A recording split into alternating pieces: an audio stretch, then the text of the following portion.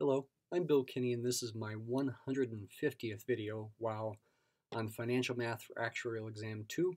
In this video I want to take a look at a problem from an old sample exam, 2017 SOA, Society of Actuaries, exercise number 68. It was pointed out to me by one of my YouTube viewers and I thought it was a kind of a cool problem that involves well, like you can approach it in a couple of different ways, one of which does include using the formula that I derived in the last video, number 149. I'll put a link to it here. But you can solve the problem without that formula. It is kind of a tricky problem, but it's it's cool because of that. If you really understand concepts well, you can you can get it. For a bond that is priced at par, and that is important, the goal here is to find the ratio of the Macaulay duration just before a coupon is paid to the Macaulay duration of that bond just after that same coupon is paid. So thanks, first of all, go out to Xu Yufeng, I hope I pronounced that okay, on my YouTube channel who watches a lot of these videos. He asked me about this problem, and um, I went ahead and looked at it and thought it was a really cool problem. So we have a person, Sam, buying an 8-year, 5,000 par bond with annual coupon rate of 5% paid annually. Okay, annual coupons. The bond, here's an important point. The bond sells for 5000 It's selling for the par value, and evidently it's also redeemed at the par value. That's important. That means the coupon rate and the yield rate are the same, and it means the price after any individual coupon is paid is going to be also 5000 That's, that's important for solving this problem. Let D1 be the Macaulay duration just before the first coupon is paid, and let D2 be the Macaulay duration just after the first coupon is paid. The goal here is to calculate the ratio D1 divided by D2. Okay, so you could stop and think about this for a minute. It may not be real clear what to do, but as is often the case, it is good, I think, to get your mind around things to go ahead and draw a timeline. So that is probably the first thing that most people would do, and I will go ahead and do that. We've got eight years here. And um, you can go ahead and write the coupon amounts if you like. 5% uh, of 5,000 would be 250. So you have a payment of 250 here, 250 here, etc. You've got your last coupon payment payment of 250 at time 8 and also the redemption value which is assumed to be the par value here of 5,000. And uh, then the next thing most people probably might try to do, and I think it is worthwhile to do here, is to go ahead and write down the formula for the Macaulay duration in general. D, you could just call it D or D sub mac to emphasize its Macaulay duration. If you like, you can also emphasize that it depends on the yield rate J in general. And I am writing down the general formula here. Uh, in, it's going to be a ratio. In the bottom of the ratio, um, it's going to be the present value of all the payments, so it's going to be a sum. t goes from 1 to n in general. n is going to be 8 in this case, at least if we're doing this at time 0. Um, of all the payments discounted back to time 0.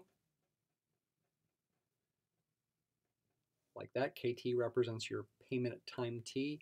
Oops, this should be a 1 plus j here. 1 plus j to the negative t. Uh, in the numerator, you have something similar, except all those things get multiplied by t. So you'd have a sum, t goes from 1 to n, of t times kt times 1 plus j to the negative t. And I also said, and I derived, uh, that this can also be thought of as a weighted average. t goes from 1 to n of weighted times. That's what the duration is. A duration is an amount of time. So it's kind of like an average length of the bond in this case, of the payments from the bond. Um, so you could write those weights as W sub t times t, where, I think this is all good to review here, where WT would really be uh, the ratio of one of these terms in the sum up here in the numerator divided by the entire denominator. Uh, might be best to write that as kt, or t times kt times 1 plus j to the negative t divided by the summation you see in the bottom, but maybe change the index of summation to like m instead of t, just to emphasize um, that when writing this formula here, we're thinking of t as fixed. So um, change it to a different index of summation here. It really doesn't matter, but I'll go ahead and just for conceptual clarity, go ahead and do that. Okay? So that's the formula. So again, it these are things that, as you solve the problem, you might want to write down. Now, if you really get good at solving these problems, you might be able to solve this problem without writing those things down. But I think most people probably want to write those down. Now, now it's important to think clearly here, okay? Um, D1 is the Macaulay duration just before the first coupon is paid. So at time one, uh, right before that coupon of 250 is paid to you, what is the duration? And D2 is the Macaulay duration right after, a second after that coupon is paid. So these, these can be separated in time by essentially an instant of time. Um, so it's the 250 that, that is either there for the D1 but not there for the D2. Okay. However, by thinking about those durations at that time, at the time of the first payment, we are effectively shifting time so that the new time 0 is at time 1, the new time 1 is at time 2, the new time 2 is at time 3, etc. Like that. And what that's going to mean um, is that the numerator for both d1 and d2, thinking about this formula, the numerator, at the top of the fraction, is going to be the same because based on the new, new time scale, in both cases, the initial term is going to be t equals 0, actually. Okay? Um, in this general formula, you're thinking of t as going from 1 to n.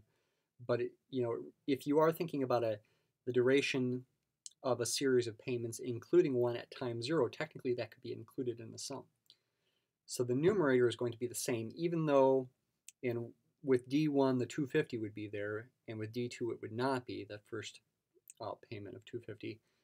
Because that first time with this new scale is time zero, the numerator for both of these is going to be the same. It's only the denominator, which is the price of the bond, either right before the coupon is paid or right after it's paid, that changes. So let's go ahead and write that down. D1 divided by D2 is really going to be, since the numerator of both these, these things is the same, those numerators will cancel, and we'll just get 1 over the denominator, denominator in each case, and then we can flip the fractions. It's really going to be the present value uh, with of the series of payments. For D2, that would be without the, that coupon. I'll go ahead and write without coupon payment. divided by the present value with the coupon payment. That comes from D1 actually. Okay, again, we have to flip the fraction here. So it's the present value with that coupon payment. Now, you actually don't even have to use a formula to figure out these present values. Okay, if you know conceptually that when a bond sells at par and when it's redeemed at par, uh, that means the coupon rate R and the yield rate J are the same, and it also means uh, that the price, the book value, right after any coupon is paid is the same as that par value, 5000 So the present value without the coupon payment, excluding this 250 here, of the remaining things is going to be 5000 and the present value here at this time right there with that coupon payment included for D that comes from the D1 here uh, is going to be 5,000 plus 250 because that's the new time zero. That's not going to get discounted at all. 5,250. And this ratio then was, will be the answer to the question. And this is probably the simplest way to solve the problem, but you do have to think carefully about concepts. 5,000 divided by 5250 is about 0.95238, and that rounds to an answer of about 0.95, which is one of the options on that old sample exam. It's option C. That is the answer to this question, okay? Now you see I'm not done with this video. I want to show you an alternative way to solve this um, that does involve using the formula that I derived in the last video, video 149. It's an alternative way of thinking about it, and uh, besides emphasizing that formula from the last video, it's going to also allow us to emphasize one more thing here that I think is, is worthwhile to emphasize. So if you're interested in these extra things I'm about to show you, I think, I think it will be worth your while. So in the last video, I said that when you've got a bond uh, where the coupon rate, in this case 5% R, is the same as the yield rate J, would also be 5% because the bond is selling at the same as the par value, which again is assumed to be the redemption value when, you, when it's not stated otherwise. Um, I said that the, the duration of the bond, thinking of the bond as annuity um, immediate, thinking about the duration at time zero, in other words, call it D0, is going to be the same as the uh, present value of an annuity due. Okay, that was a kind of a strange thing from video 149. I can say D0, the duration of this bond at times time zero, is going to be the same as A um, double dot 8. It's a bond with 8 payments here, 8 years, annual payments here, and the rates are annual as well. That coupon rate, which is the same as the yield rate, is 5%. This quantity is going to be the same as the duration, which is kind of a strange thing. Duration is an amount of time. This is a, a money amount. But numerically speaking, when uh, the bond is selling for the par value and is assumed to be redeemed at par, this is going to be true at time zero. Okay, let's go ahead and calculate this. So let's see, we can take 1.05, take its reciprocal, there's V to the eighth power, subtract from 1, divide by 0.05. And this is a double dot, it's not a, so we need to multiply by 1 plus j, 1.05. Okay, so d0, the duration, the average length of the bond at, relative to time 0 is 6.7863734. Okay, um, now I'm going to write down something that should be fairly intuitive though you might wonder how to prove it. Um, I will show you how to prove it here in a minute. But D1, the duration relative to time 1, right before that first coupon is paid, if you think about it, since these, relative to this new time scale, we're just shifting down by 1, uh, it should be the same as D0 minus 1. And that is true, so this will be 5.7863734.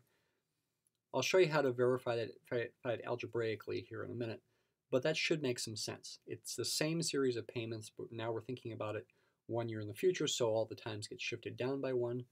So I could take that old duration and subtract one from, from it and get this. And uh, D2, since we're finding the duration right after that coupon is paid relative to what's remaining, that's also going to be an annuity due value except with seven payments instead of eight. Let's see what this turns out to be. Let me store this value here. Stored in one. Okay, what about D2?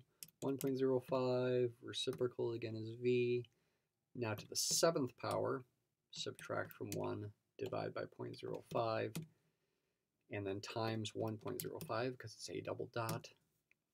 Get about 6.05 07569207. So now D1 divided by D2, hopefully it's the same thing. Um, so I'll take the reciprocal of this, multiply by D1, which is in register 1. And lo and behold, we do get the same answer, 0.95238, about 0.95. Same answer as we got before, okay? So that's great.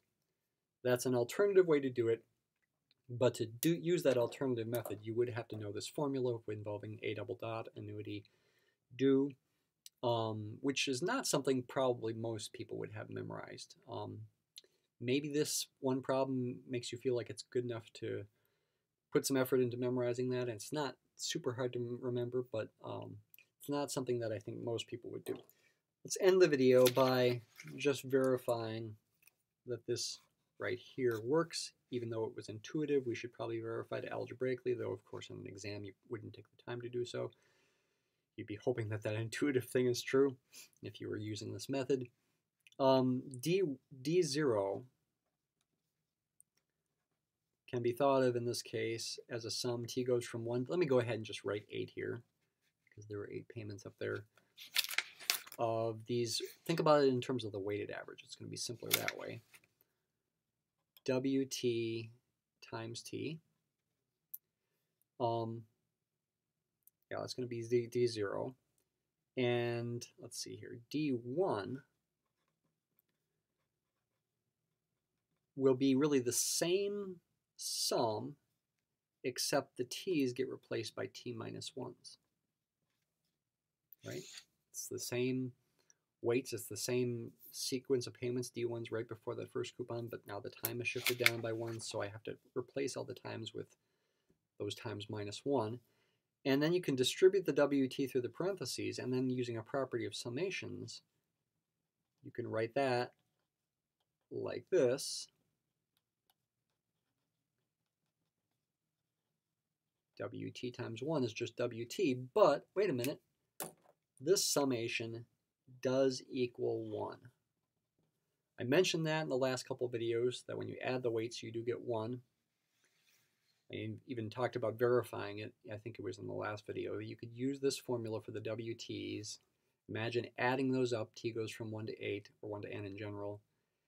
Put the summation here. This summation would be constant with respect to the outer summation. It could be brought out in front as 1 over that summation and then you could write it as a single fraction where the top summation and the bottom summation are really the same. You might have different indices of summation, t in the top and m in the bottom, but that doesn't matter. The ratio is going to equal 1.